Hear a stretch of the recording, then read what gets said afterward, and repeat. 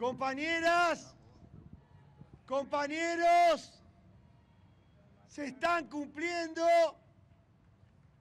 40 horas de acampe piquetero. Se está cumpliendo una jornada histórica que ha pasado por distintas circunstancias en estas 40 horas. No querían que llegáramos aquí y cortaron el sub TC. Y vinimos caminando con la SUBE. Le decimos a los diputados del PRO que llenan los programas de televisión, ¿dónde carajo están los micros que traemos para venir acá? No hay ningún micro acá. Acá venimos a pata y pulmón porque tenemos una necesidad social. Compañeros, compañeras, vamos a anunciar una cantidad de medidas, eh, pero en primer lugar le queremos decir a nuestros compañeros que se han vacado aquí con frío, que han comido los guisos piqueteros durante 48 horas, que vamos a seguir en la pelea porque esta demostración de miles y miles de personas todavía aquí en la 9 de julio merecen darle una continuidad a esta pelea. En primer lugar,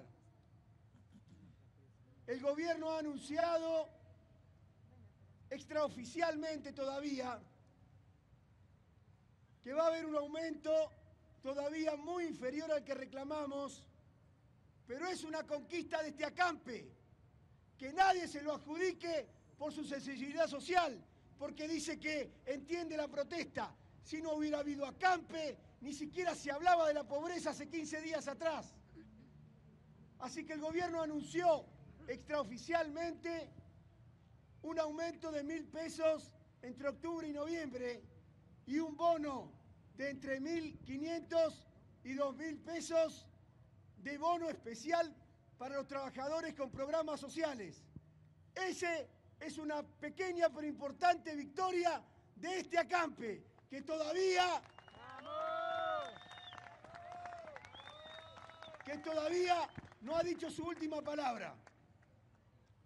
Ha anunciado también el gobierno un aumento en las partidas alimentarias del 30%. La responsabilidad en el gobierno porque vota un aumento del presupuesto a partir de redistribución de las partidas alimentarias, lo cual quiere decir que otra vez depende de una decisión política que tome el gobierno para redistribuir esas partidas. Todavía sigue siendo una maniobra. Los mismos que decían que no tenían plata fueron al Parlamento ayer a decir que ahora sí tienen. Y eso también es una conquista de este acampe piquetero. No tenían y ahora dice que tienen. Adelante compañeros con esa pelea también. Compañeros, compañeras, hay otro punto importante en esta pelea, por lo cual ahora vamos a anunciar la continuidad de estas medidas. Es la apertura de los programas. Se lo explicamos a los periodistas, se lo explicamos a los funcionarios y algunos dicen que no lo entienden y otros no lo quieren entender. Se aumentó la desocupación, tienen que aumentar los programas, la cantidad de programas sociales que asisten a los desocupados.